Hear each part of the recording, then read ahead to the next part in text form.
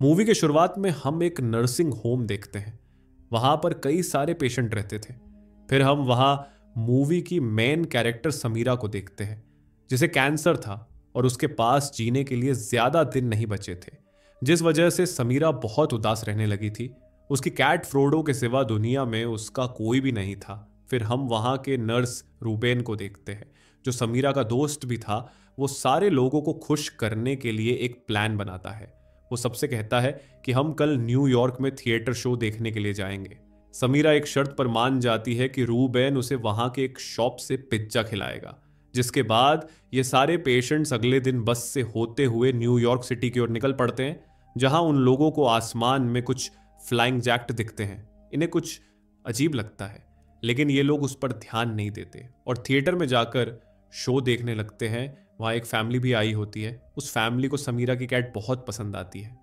जिसके बाद वो शो चालू हो जाता है, लेकिन समीरा को वो शो बहुत बोरिंग लगता है। इसलिए वो बाहर आकर खाने के लिए चॉकलेट खरीदती है। तभी रूबेन भी बाहर आता है और समीरा से कहता है कि हम सबको यहाँ से निकलना होगा। पता नहीं, लेकिन मुझे कई सारे मैसेज आ रहे हैं कि हमें इस शहर से बाहर जाना चाहिए। शायद यहाँ कुछ खतरा है। और जिस वजह से मैं तुम्हें पिज़्ज़ा भी नहीं खिला पाऊँगा, ये सुनकर समीरा और दुखी हो जाती है और अपना उदास मुँह लटकाते हुए जाकर बस बैठती है और गाने सुनने लगती है। अब कुछ आगे जाते ही उसकी नज़र पीछे बाकी लोगों पर जाती है, जहाँ सारे लोग बस के बाहर कुछ देख रहे थे। दरअसल, आसमान से कई सारे उल्का पिंड इस शहर पर गिर रहे थे और तभी उनमें से एक उल्का पिंड इनके बस के पास भी गिरता है जिससे वहाँ ब्लास्ट होता है और हर तरफ़ धुआँ होने के कारण समीरा को कुछ दिखाई भी नहीं देता। इसलिए वो बस से उतरकर इधर उधर देखने लगती है, जहाँ कुछ लोगों को चोट आई थी। इसलिए वो लोग मदद के लिए चिल्ला रहे थे।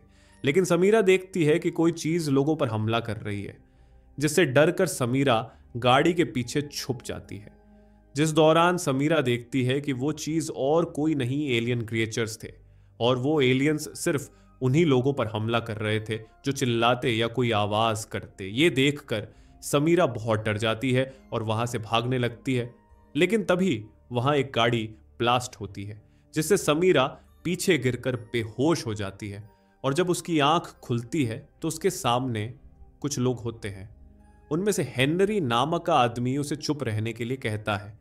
ये लोग और कोई नहीं, वही फैमिली थी जो उसे थिएटर में मिली थी। समीरा देखती है कि वो थिएटर में है। और वहाँ उसकी तरफ़ कई सारे लोग छुपे हुए हैं। उन लोगों को भी पता चल गया था कि अगर उन एलियंस से बचना है तो खामोश रहना पड़ेगा। तभी समीरा को वहाँ रूबेन भी दिखता है। एक दूसरे को देखकर वो दोनों बहुत खुश हो जाते हैं। फिर रूबेन समीरा को उसकी कैट फ्रोडो भी देता है, जिसे देखकर समीरा को राहत मिलती है।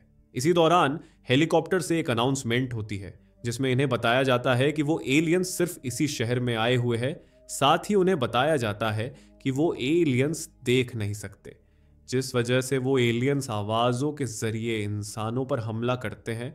इसलिए कोई भी आवाज़ ना करे और शांत रहे।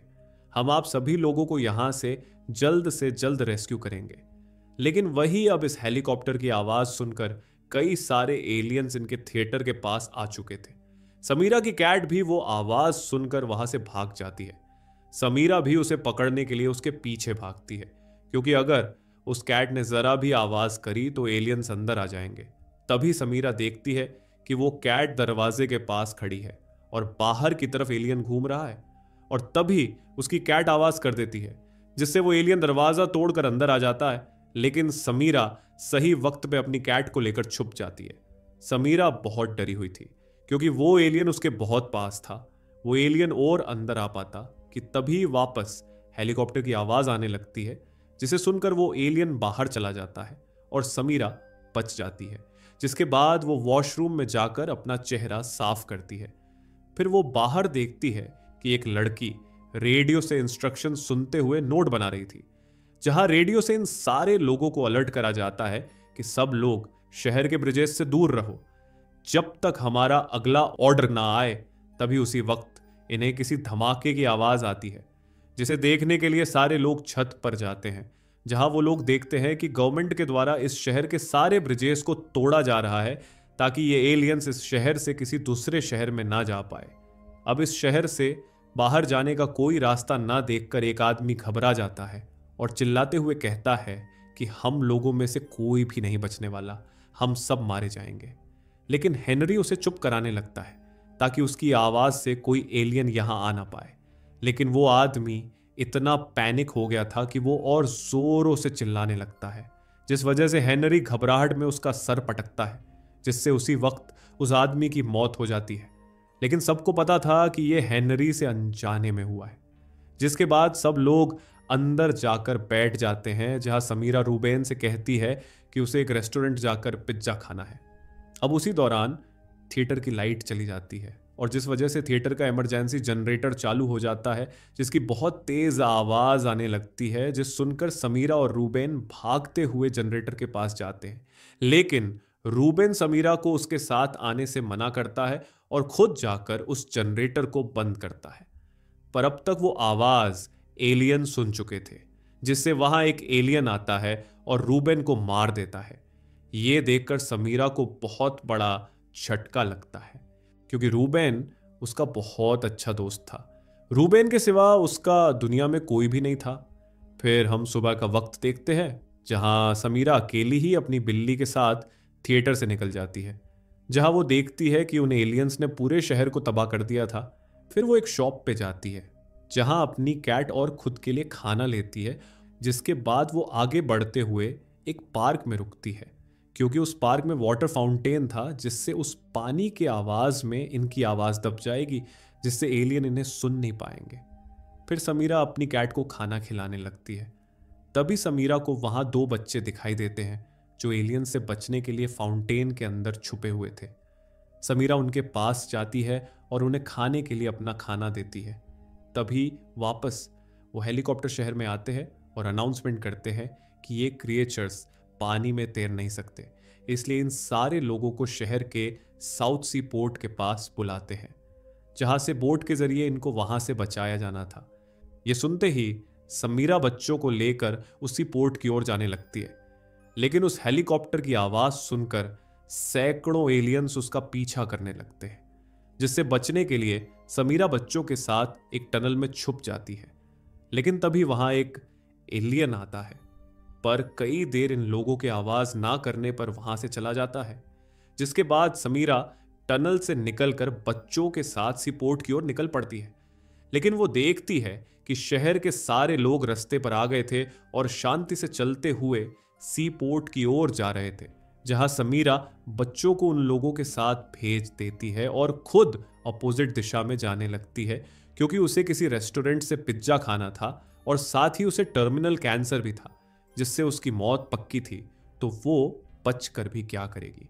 अब उसी दौरान हम देखते हैं कि इतने लोगों के एक साथ चलने के कारण वहाँ आवाज़ हो रही थी, जिसे अब एलियन सुन लेते हैं और उस पूरी भीड़ पर हमला करते हैं, जिससे सारे लोग अपनी जान बचाने के लिए इधर उधर भागने लगते हैं, जिस धक्के में बेचारी समीरा नीचे गिर जाती है और उसकी कैट भी डर कर वहाँ से भाग जाती है। अब इन लोगों के भागने से और आवाज़ हो जाती है। जिससे वो एलियंस लगातार इन पर हमला कर रहे थे। इसलिए समीरा उनसे बचने के लिए एक गाड़ी के नीचे घुस जाती है। फिर लोगों की भीड़ कम होते ही वहाँ से निकल जाती है और किसी जगह जाकर छुप जाती है।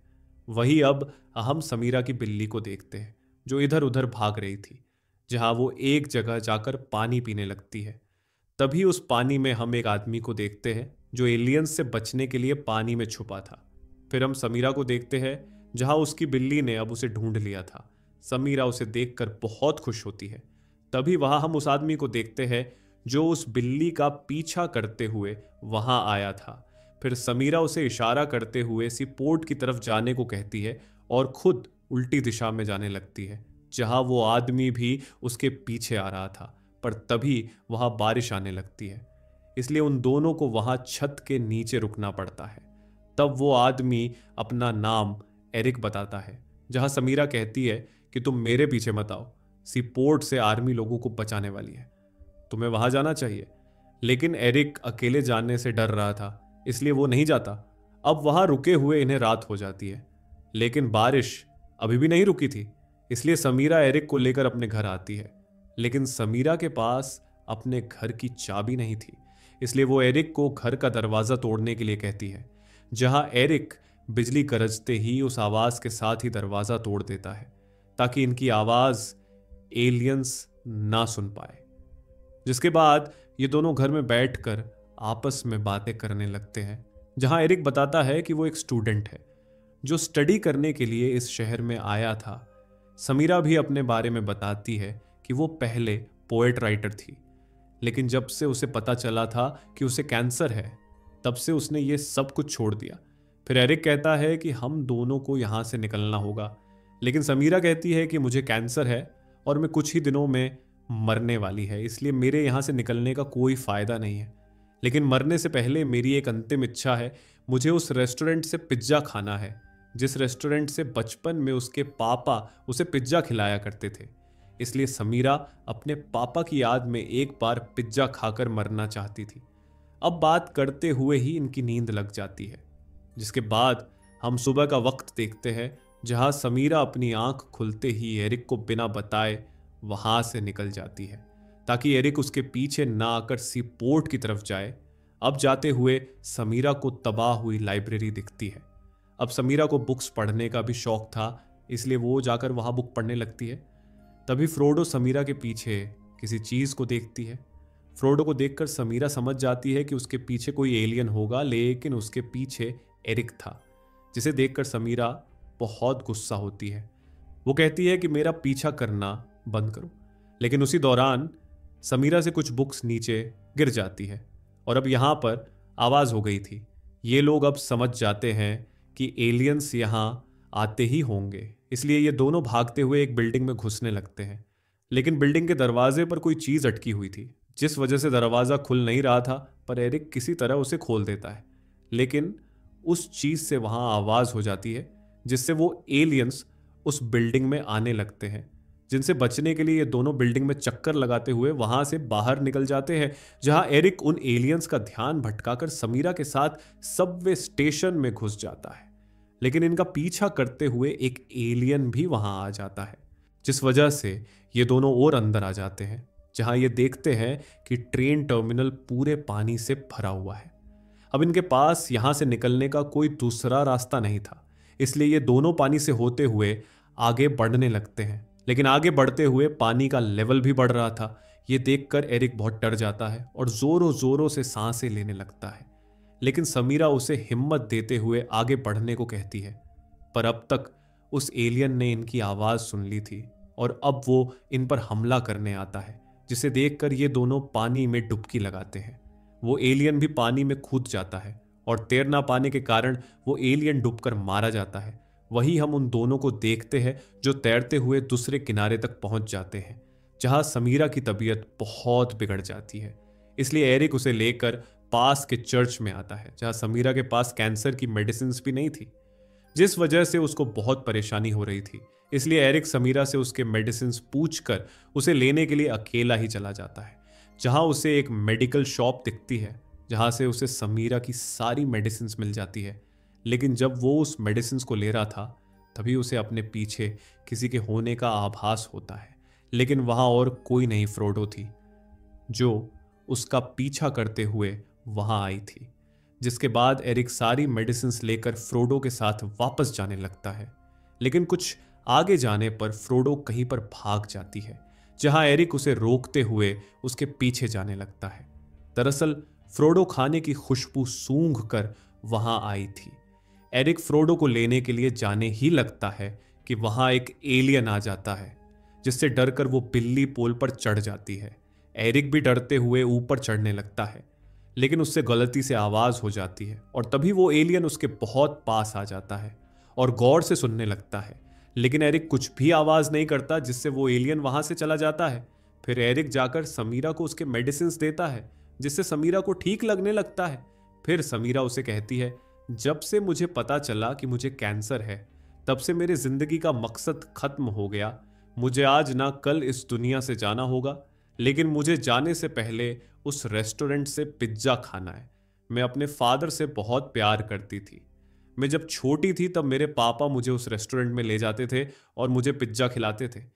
इसलिए मैं मरने से पहले एक बार उस रेस्टोरेंट से पिज़्ज़ा खाना चाहती हूँ और यही अंतिम इच्छा पूरी करने के लिए मैं इस शहर में आई थी, जिसके लिए एरिक भी मान जाता है। फिर ये लोग सुबह होते ही उस रेस्टोरेंट की तरफ़ निकल पड़ते हैं। लेकिन उन एलियंस के हमले में वो पूरा रेस्टोरेंट जल गया था, जिसे देखकर समीरा बहुत उदास हो जाती है, जिस कारण एरिक समीरा को एक क्लब में बैठाता है और खुद उस जले हुए रेस्टोरेंट में जाकर पिज्जा ढूँढने लगता है, जहाँ उसे आखिर में पिज्जा मिल ही जाता है, जिसे देखकर समीरा बहुत खुश होती है। और वो दोनों फ्रोडो के साथ उस पिज्जा को एंजॉय करते हैं, जिसके बाद ये लोग बाहर आते हैं, जहाँ समीरा देखती है कि सी पोर्ट से एक आखिरी रेस्क्यू बोट बचे हुए लोगों को लेकर जा रही है। अब समीरा अपने कारण एरिक और फ्रोडो की जान नहीं लेना चाहती थी, इसलिए वो एरिक से फ्रोडो को लेकर वहाँ से जाने को कहती है। लेकिन बोट की आवाज़ सुनकर वहाँ किनारे पर बहुत सारे एलियंस आ गए थे, जिस कारण ये लोग आगे नहीं बढ़ पाते, जहाँ समीरा अब एरिक को अपनी बिल्ली देते हुए कहती है कि तुम बचते हुए बोट तक पहुंचो। मैन इन एलियंस को अपनी तरफ़ अट्रैक्ट करती हो। फिर समीरा एक लोहे के रॉड से गाड़ियों के शीशे तोड़ने लगती है, ताकि सारे एलियंस उसकी तरफ़ आ जाए, और ऐसा ही होता है। गाड़ियों का शोर सुनते ही सारे एलियंस उसकी तरफ़ टूट पड़ते हैं, जिसकी आवाज़ उस बोट पर के लोग भी सुन लेते हैं और तुरंत अपनी बोट को रोकते हैं। वो लोग समझ जाते हैं कि कुछ लोग अभी भी वहाँ बचे हुए हैं। वही एरिक भी सही मौका देखकर बोट की तरफ़ भागने लगता है। लेकिन कुछ एलियंस उसकी आवाज़ सुन लेते हैं और उस पर हमला करते हैं। लेकिन वो एलियंस उसे कुछ कर पाते, तब तक एरिक पानी में कूद जाता है। और तैरते हुए सही सलामत बोट तक पहुँचता है। ये देखकर समीरा रोने लगती है। वो बहुत खुश थी कि एरिक और फ्रोडो आखिरकार बच गए। फिर हम एरिक को देखते हैं, जो अब सही सलामत घर पहुँच गया था। तभी उसे अपने जैकेट से लेटर मिलता है, जिसे समीरा ने उसके लिए छोड़ा था, जिसमें समीरा ने लिखा था कि मैंने तो ज़िंदगी जीना ही छोड़ दिया था। मेरे ज़िंदगी में कोई मकसद ही नहीं बचा था। लेकिन जिन आखिरी दिनों में तुम मुझे मिले उन दिनों में मैंने अपनी ज़िंदगी जी। तब मुझे अपनी ज़िंदगी का मकसद मिला कि मैं तुम्हारी और फ्रोडो की जान बचाऊं, और मैंने अपना मकसद पूरा किया। फिर वो लिखती है कि फ्रोडो को प्यार देना और उसका ख्याल रखना, जिसे पढ़कर एरिक के आँखें भर आती है। जिसके बाद हम समीरा को देखते हैं जो ईयरफोन लगाकर रेडियो से गाने सुनते हुए बाहर घूम रही थी, जहाँ वो बहुत खुश थी। लेकिन तभी वो अपना ईयरफोन निकाल लेती है और फुल वॉल्यूम पे गाने बचाती है। और अब वहाँ एलियंस आते हैं, क्योंकि उसके ज़िंदगी का मकसद अब पूरा हो गया था। और अब वो खुशी से मरना चाहती थी और इसी इमोशनल सीन के साथ ये मूवी यहीं पर खत्म होती है। अगर आपको ये मूवी पसंद आई है तो वीडियो को लाइक करके चैनल को सब्सक्राइब कर देना और कमेंट में वीडियो कैसा लगा वो भी बता देना। हम मिलते हैं इसी तरह और एक इंटरेस्टिंग मूवी के साथ। तब तक के लिए बाय बाय